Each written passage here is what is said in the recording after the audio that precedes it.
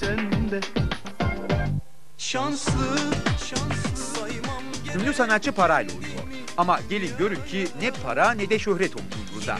O hala bir zamanlar konfeksiyon atölyesinde overlockçu olarak çalıştığı parasız ama mutlu günlerinin peşinde.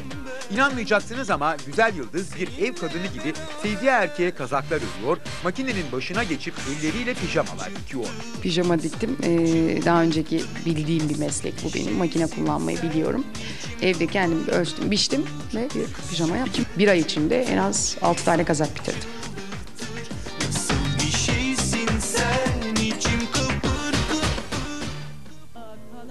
Her şeyi annesinden öğrenmiş Ebru. Annesi bir kız evlada öğretilmesi gereken her şeyi öğretmiş. Canım sıkıldığı zaman giriyorum oraya yatak örtüsü dikiyorum.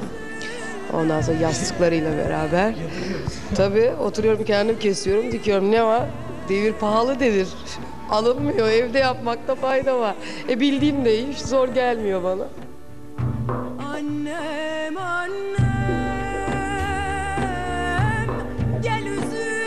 Bazı sanatçılarımız gerçekten ev işlerine ve özellikle de mutfak işlerine meraklı oluyor. Bunlardan biri de Gülben Ergen. Ee biliyorsunuz ünlü